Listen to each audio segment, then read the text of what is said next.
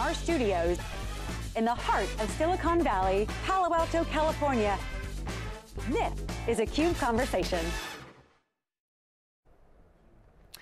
Hello and welcome to CUBE Conversations. I'm James Kobielus, lead analyst at Wikibon. Today we've got an excellent guest and who's a CUBE alumnus par excellence. It's Yaron Haviv, who is the founder and uh, CTO of Iguazio. Hello, Yaron. Welcome in. I think you're, you're coming in from Tel Aviv, if I'm not mistaken. Right, pretty close to Tel Aviv. Thanks, uh, Jim, and nice seeing you again. Yeah, nice to see you again. So I'm here in our Palo Alto studios, and so I'm always excited when I can hear Yaron and meet with Yaron because he always has something interesting and new to share about what they're doing in the areas of cloud and serverless and real-time streaming analytics and now uh, data science. I wasn't aware of how deeply they're involved in the whole data science pipeline. So Yaron, this is great to have you. So my first question really is, um, can you sketch out what are the, the emerging marketplace requirements that you at Iguazio are seeing in the convergence of all these spaces, uh, especially real-time streaming analytics, edge computing, serverless, and data science and AI. Can you give us a sort of a, a broad perspective and outlook on the convergence and really the new opportunities or possibilities that the convergence of those technologies uh, enable for enterprises that are making deep investments? Yeah, so so I think we've sort of anticipated what's happening now. We just called it different names, and we'll probably get into into this discussion in, in a minute. Uh, I think what you see is that traditional analytics and even data scientists, uh, science was starting at sort of research labs. You know, people exploring cancer, exploring uh, you know impact of weather on you know people's mood, etc. And and now people are trying to make real ROI from uh, AI and data science, so they have to plug it within business applications. Okay, so it's not just a data scientist sitting in a silo you know, with a bunch of uh, logs that he got from his friends, the data engineer, and, and he scans them and generates some insights and runs to the boss and says, you know what, you know, we, we could have made some money, you know, a year ago if we've done something. So that doesn't make a lot of impact on the business. Where the impact on the business uh, is happening is when you actually integrate AI in chatbots, in uh, recommendation engines, in in doing predictive analytics on analyzing failures and, and saving saving those failures, on you know saving people's life, and those kind of use cases. Those are the ones that require a tighter integration between the application, uh, the data, and the algorithms that come from the, the AI, and and that's of where we started think about our platform. We we worked on the real-time data, which is where you know when you're going into more production environment and not data lakes, you need a very good, very fast integration with data. And we had this sort of uh, fast computation layer, which was day one uh, microservices. And you know now everyone talks about microservices. We certainly uh, certainly started with this area, and that is allowing people to build those intelligent applications that are integrated into the business applications. And and the biggest challenges I see today for organizations is moving from this process of doing some research on, on data, you know, historical data, and translating that into a business application or into impact on business application. This is where people can spend a year. You know, I've seen a tweet saying we've built a machine learning model in like few weeks and now we've waited 11 months for the productization of that artifact. Yes, that's what we're seeing at Wikibon, which is that AI is the heart of modern applications in business. And the new generation of application developers in many ways are data scientists or have need to leverage the skills and tools for data science. Now looking at Iguazio's portfolio, you, you evolve so rapidly and to address a broader range of use cases. Um, I've seen, and you've explained it over the years, that and positioned Iguazio as being a, a continuous data platform an intelligent edge platform, a serverless platform. Now I see that you're a bit of a data science workbench or pipeline tooling platform. Could you connect these dots, Yaron, and explain what is Iguazio's well, portfolio? they're all, they're all uh, nice marketing for the same technology that we've built. Okay, just over the years, you know, people, uh, four years when we started, so we had to call it something else. People at that time thought that analytics sort of incorporates data science. And when we said continuous analytics, we meant essentially feeding data in, running some algorithms, spitting some results. Uh, this is, was sort of opposed to the trend of Hadoop, which was a data lake. I mean, you throw data in, and then you run some batch uh, batch analytics, and then like uh, a few later, you have some insight. So continuous analytics was sort of a term that we've uh, came up with, maybe not the best, you know, uh, you know, describe that you're essentially taking data in from different sources, uh, crunching it through algorithms, and generating triggers and actions or response to user requests. Okay, uh, and that was sort of a pretty uh, unique and, and um, sort of uh, pioneering this industry even before they called it streaming or you know real-time data science or or whatever. Uh, now, if you look at our architecture, our architecture, as I explained before, is comprised of three components. The first element is a real-time multi-model database. You know, you know about it, pretty exceptional in its performance and its other capabilities. Uh, the second thing is a microservice engine that allows us to essentially inject applications of various kinds. Initially, we started with applications that essentially do analytics, you know, grouping, joining, you know, correlating. And then we started just adding more functions that do other things like inferencing, uh, image recognition, sentiment analysis, etc. Because we have this function engine, it allows us a lot of flexibility and tying the uh, really fast parallel engine on a really fast data can, can generate remarkable results. And then the industry started calling this this microservice thing a serverless. We of even were ahead of the game of this serverless gang. Uh, the third element of our platform is essentially having a fully managed PaaS, uh, a platform where all those microservices and data through a self-service interface. Sort of think about it as a mini cloud. Uh, and now, you know, we've uh, recently, in the last two years, we've uh, shifted to working with Kubernetes versus using our own uh, proprietary microservices orchestration originally. So we've went into all those three uh, major technologies. Now, those fit into different application. One of the very interesting application, if you think about Edge, in the Edge, you need to serve a mini cloud you need a variety of data sources and, and databases with you know columnar rows streaming you know files etc we all support all of them on our integrated uh, platform. And then you need those uh, microservices that could be developed in the cloud and then just sort of shift into the enforcement point in the edge. And you need sort of an orchestration layer because you want to do software upgrades you need to protect security. So uh, having all the integrated stack created an opportunity for us to work with uh, providers of Edge. And you may have noticed our joint announcement with Google around solution for Edge, uh, around retailers and, and IoT. Uh, we've made some announcement with Microsoft in the past. We're going to do some very interesting announcement uh, very soon. Uh, we've made some joint announcements with Samsung and NVIDIA all around uh, those areas. We continue. It's not that we're limited to Edge. It's just that what happens because we have extremely high density data platform very power efficient, very well integrated. It has a great fit in the in the edge, but it's also the same platform that we sell in the cloud as a service, uh, or we sell to on-prem customers, uh, so they can run the same things. In the cloud, it sort of happens to be the fastest, most uh, real-time platform, uh, and in the edge, it serves an essential uh, feature that you, you, cannot just ignore. So you run your yeah, Iguazio is a complete cloud native development and runtime platform. Now serverless in many ways seems to be the core of your capability in your platform, Nuclio, uh, which uh, is your technology, you've open sourced it, it's uh, built for prem-based private clouds, but also it has it's extensible to be usable in broader hybrid cloud uh, scenarios.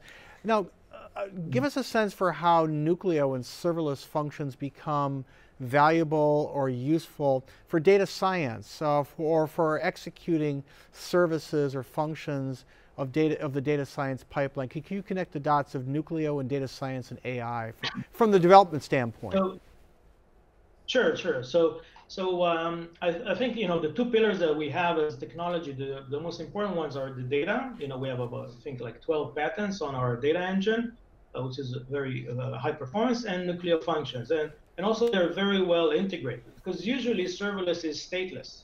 So you know you you end up uh, if you want to run data, you have some challenges uh, with serverless. Uh, with Nuclio, you can actually do stateful uh, use cases. You can mount files. You you have real-time connections to data. So that makes it a lot more interesting than just uh, Lambda functions.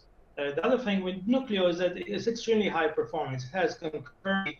It's about 200 times faster than Lambda. So that means that you can actually go and build things like the stream processing engines, you know, do joins in real time of variety of database uh, activities. You can just go and do collectors, we call them, those like things that go fetch information from weather services, from uh, routers for, for doing cybersecurity analyses, from uh, all sorts of sensors. So those functions are becoming like, you know, those nanobots, you know, in the analogy of, uh, of those uh, movies, that you just send them over to go and do things for you, like uh, whether it's the, the data collection and, and uh, crunching, whether it's the inferencing engines, those things that, for example, get a picture, compare it with the model, decide what's in the picture, uh, and that, this is where uh, Nuclio really comes into play. The interesting point, you see now an emergence of a serverless pattern in data science. So there are many companies that do like model inferencing as a service. Uh, essentially what they do, they launch a, an endpoint, a URL endpoint that sort of uh, runs the model inside. You send a vector of numeric values and you get back the numeric values and they conversion that. It's not really different than serverless. It's just way more limited because I don't just want to send a vector of you know numbers because uh, usually I, I need to send real data like a geolocation of my uh, cell phone with some user ID and I need this function to cross correlate it with other information about myself uh, with the geolocation and then give me recommendation of which uh, product I need to buy. So and, and then those functions also have all sorts of dependencies on, on different packages, different software, environment variables, you know, build instructions all those, this is really where uh, serverless technologies are much more suitable. Now, it's interesting that if you'll go to Amazon, they have a, a product called SageMaker. I'm sure you're familiar with yes. that, which is their data science platform. Okay. Now, SageMaker, although you, you would say that's ideal use case for uh, Amazon Lambda functions, they actually don't use Amazon Lambda functions in SageMaker. Mm. And you would ask yourself, why aren't they using uh, Lambda functions in SageMaker, just sort of telling you, you know, you could use Lambda as a glue logic around SageMaker. And that's because, because Lambda doesn't fit the use case. Okay, because Lambda uh, doesn't is not capable of storing large uh, content, and machine learning models could be hundreds of megabytes more.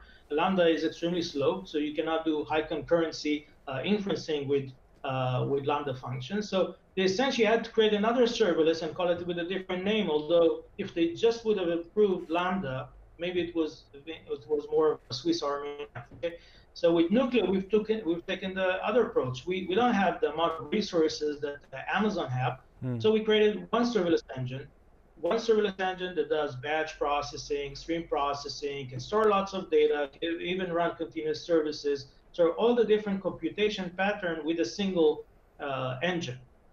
And and then sort of you've started seeing all this trend in data science about yeah we need to version our code. We need to you know uh, record all our package dependencies and all those things. Yes serverless does it. So we we just had to go and tie it more into the existing frameworks and you've uh, looked at our uh, project we have a project called nuclio Jupyter, which is essentially a data scientist can write some code in his data science notebook and then he clicks uh, one command called nuclio deploy it automatically compiles his data science artifacts, mm-hmm. notebooks, etc., and converts it into a real-time function that can listen not only on HTTP then, it can listen on streams, it can be scheduled on, on, on various timing, it could do batch and so many other things. So, and the interesting point is that if you think about data scientists, they're not the best programmers because they should be the best scientists. Okay?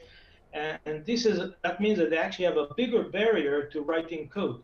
Mm-hmm. So if you a serverless framework that now, also you, automates the logging, the auto scaling, the security, the provisioning of data, the versioning of everything, and package dependencies, they just need to focus on writing algorithms, it's actually a bigger bang for the buck.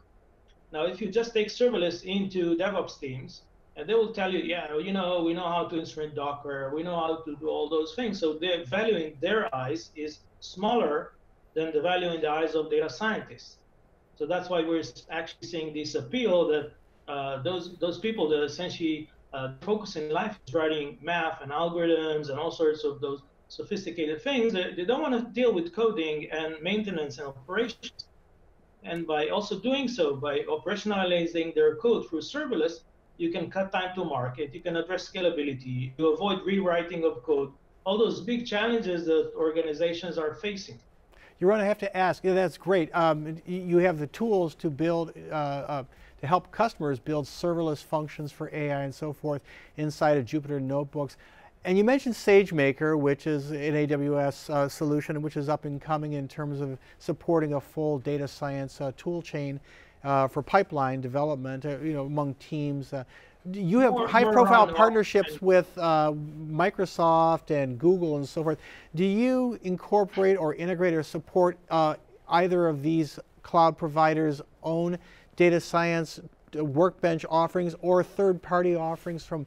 There's dozens of others in this space. Uh, what are you doing in terms yeah. of partnerships in that area? Yeah, obviously we don't want to lock us out from any of those. And you know, if someone already has his workbench, then I don't want my customers to say, yeah, you're locking me into your uh, your own workbench. Uh, in our workbench, the things are really cool because uh, like our Jupyter is connected through real-time connections to the database, and it has sort of other uh, cool features that um, essentially you're getting like a huge uh, speed boost. We have we've done some tricks that we've announced with NVIDIA around RAPIDS and integration with GPUs, like creating a pool of GPUs that from each of one of the data scientists uh, running on a platform can essentially launch jobs on this pool of CPUs of owning the GPUs, which are extremely expensive, as you know. But uh, what we've done is because all of our uh, technology beside the actual database engine is open source, uh, we can essentially just go and install packages, and we've demonstrated that to Google and Azure and the others.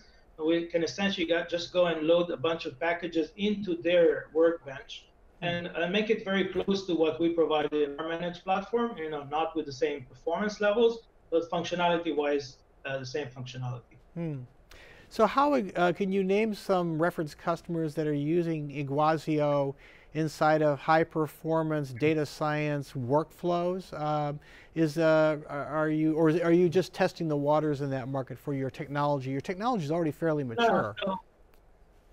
So, so as I told you before, although you know we sort of changed messaging along the lines, we always did the same thing. So when we we did continuous analytics, and we've spoken like a year and two ago about some of the use cases that we, we run, like you know telco operators that are running real time, you know health uh, predictive uh, health monitoring of their networks and auto healing networks and those kind of things. They all use uh, algorithms to control those those applications. We, we work with ride hailing customers so we can feed a lot of uh, data, generate real-time maps, and, and do uh, fraud detection and, and, other applications on, on all those things. So uh, we've noticed that all of the use cases that we're working with involve data science. in some cases, by the way, because of sort of politics, the we've once we've said we have analytics or continuous analytics, we were sort of sent into sent into the analytics with, with the organization which were more focused on sort of uh, data warehousing because analytics is still sort of data warehousing and Hadoop. And uh, the actual people that build applications, sort of those data science applications and, and sort of real-time AI or incorporating AI into business applications are more the development and business people. This is also why we sort of change our, our naming because we wanted to make it very clear that our technology is about building new applications, it's not about data warehousing or faster queries on a data warehousing It's about generating value to the business. Now, uh, if you ask about specific application, we just announced uh, a few weeks ago uh, the investment of Samsung in Iguazio. Mm-hmm. Uh, part of that in, it essentially has two pillars beyond getting a few million dollars. It's uh, one thing is that they've adopted Nuclio as, as their Uh, serverless for their internal clouds. And the second one is we're working with them on a bunch of uh, data science uh, use cases. Uh, one of them, I think, was even quoted in the in the announcement we made with NVIDIA. So there are also nodes what we can, what I can say or cannot say, but essentially those are real business applications. Three, at least three of those uh, that involves, you know, in, in, intercepting data from users and customers, doing real-time analytics and responding uh, really quickly. One of the things that we've announced is because of the use of Nuclio and some tricks that we've done with NVIDIA, we actually quadrupled their performance. Uh, Yaron, do you see a, of, uh, yeah? Do you see a fair number of customers uh, uh embedding machine learning inside of real-time streaming, stream computing backbones? This is the week of Flink Forward here in San, San Francisco. I, I was at the event earlier this week, and I, I saw uh, at least they are uh, presenting a fair amount of uptake of ML inside of stream computing. Do you see that as being a coming mainstream best practice? Um, streaming is still the analytics bucket, okay? Uh, because uh, what we're looking for is applications which are more interactive.